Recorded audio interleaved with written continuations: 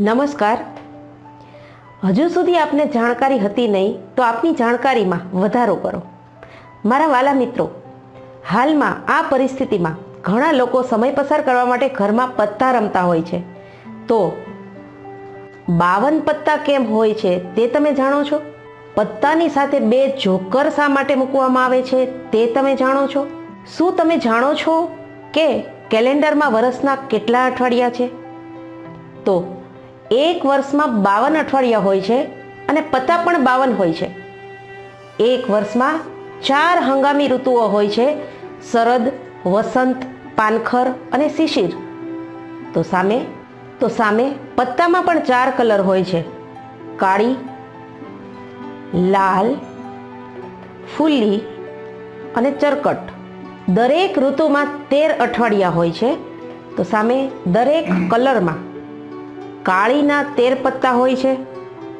એકો દૂડી તીડી ચોગો પંજો છકો, સતો અઠો નવો દસો, અગિયારમો છે ગુલામ, બારમો છે રાણી, તેરમો છે રાજા. એ જ રીતે લાલના પણ સેમ તેર પત્તા હોય છે. ફુલ્લીના પણ તેર પત્તા હોય છે. અને આ ચરકટના પણ તેર પત્તા હોય છે. એક વર્ષમાં બાર મહિના હોય છે. એ જ રીતે પત્તામાં પણ બાર ચિત્ર પત્તાઓ હોય છે.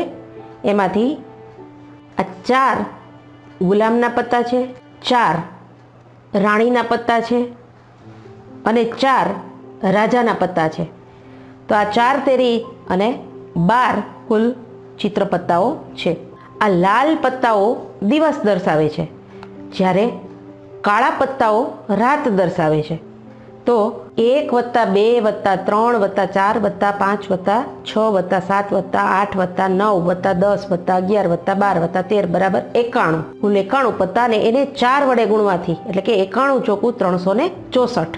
અને એક જોકર મેળવે છે, એટલે કુલ મળીને ત્રણસો ને એક વર્ષના દિવસ. શું તે માત્ર સંયોગ છે કે ઊંડી બુદ્ધિમત્તા? થોડી વધુ મજા લઈએ. એક, બે, ત્રણ, ચાર, પાંચ, છ, સાત, આઠ, નવ, દસ જેક રાણી અને રાજા એના અક્ષરોની સંખ્યા ગણો તો બાવન થાય છે. સ્પેડ એટલે કે કાળી એ ખેડાણ અથવા ફરજ બતાવે છે.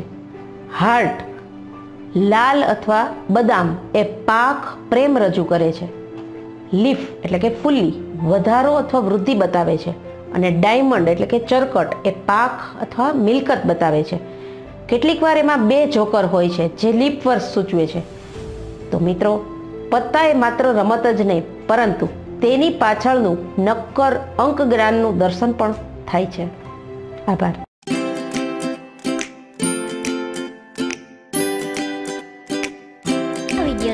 કરો, તમારા મિત્રોને શેર કરો અને આવા વધુ વીડિયો જોવા માટે આ ચેનલને સબસ્ક્રાઈબ કરો. Thank you